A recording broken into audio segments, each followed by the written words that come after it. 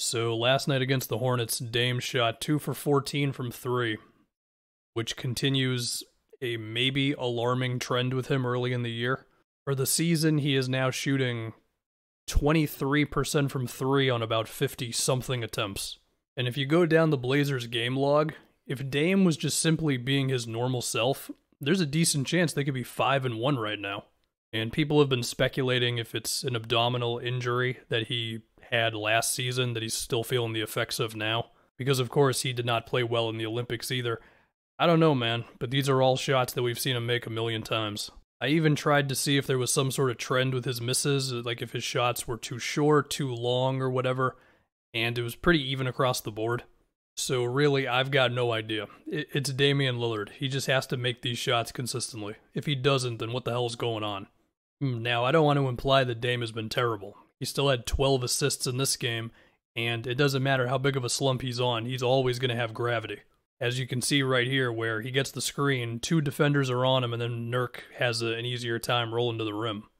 And just to state the obvious, he can still beat guys off the dribble, make the defense collapse, and then kick it out to open shooters.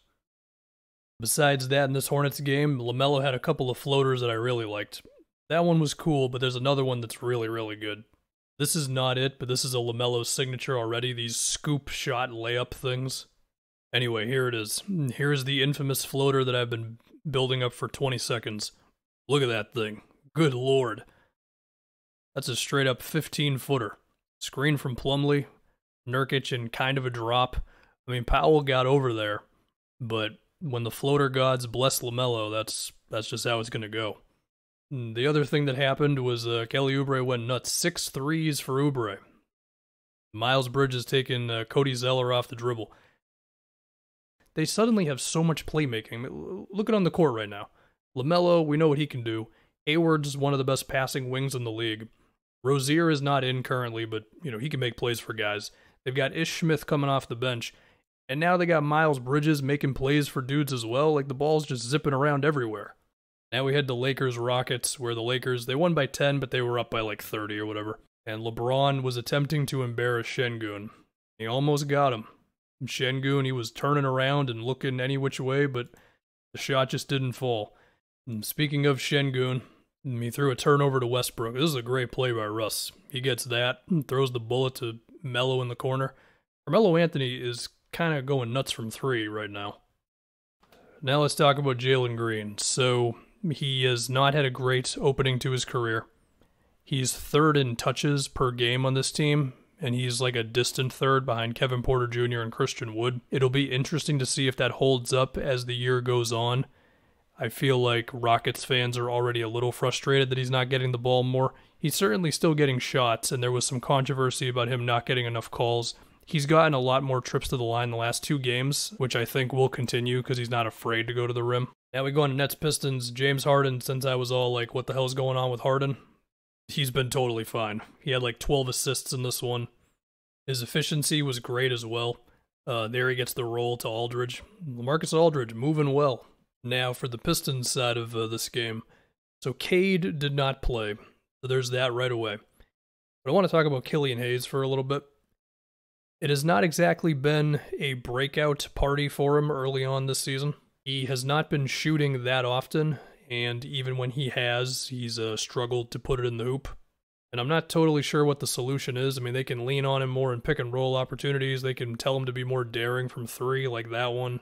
They can try to get him moving off the ball or whatever. I mean, here he's trying to create for himself. I don't know. Hmm, he did have five steals, though, including one time where he stripped Harden.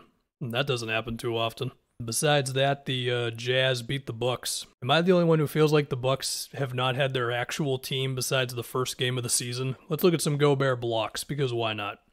We got Grayson Allen. Donovan Mitchell did a good job initially, honestly, and that's Thanasis who is a victim of Gobert.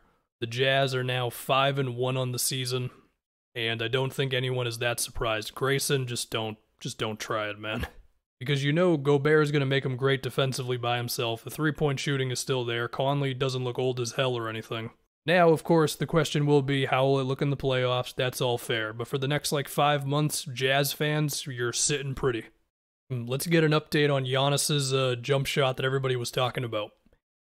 He's shooting 30%, man. He's basically the same dude. And now we head to Mavericks Kings, and this was the exact moment where the Kings thought they had a chance in this one. Tristan Thompson does a good job on Luka. We got like five seconds left when he's crossing half court. And then he just makes this ridiculous step back, like 40 foot bomb because that's just what Luka does. He was one for seven on the game. His next two threes were complete bricks. But it doesn't matter because when he makes this one, it's like, well, that's just how it's going to go sometimes. And to get an update on the Mavs offense, I crapped on Dwight Powell's shooting in the last video, and then he made a three in this one, so that's nice. I'm going to assume teams are still going to leave Dwight Powell open and dare him to make those. Anyway, this right here looked a bit like uh, last year's Mavs, where it's both corners have shooters. Dive guy sets a screen for Luka, and then at that point, it's pretty much just let Luka make the right decision. De'Aaron Fox had to at least kind of linger around the paint. There you go. Uh, Dallas's offensive rating in this game was 108, which would be like 25th last year, but it actually would be like 7th or 8th this year. So for what all that means, I don't know. The point is, is that they're obviously not a finished product. Also, this one here, I mean, you've got Jalen Brunson and Tim Hardaway Jr. going in opposite directions. Is that a good idea? I don't know, but it's certainly movement. After that, you've got Powell setting the screen for Hardaway, who keeps going. He's able to get an okay look. As for why the Kings lost this, I mean, they missed a million shots. But De'Aaron Fox did not play that well.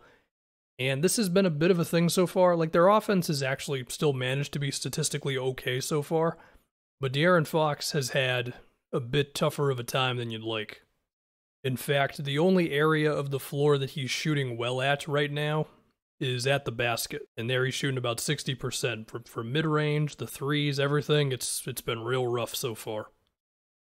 So, in some weird way, you could be optimistic and be like, well, once he gets it going, they'll be fine. Anyway, let's look at this play from Davion Mitchell.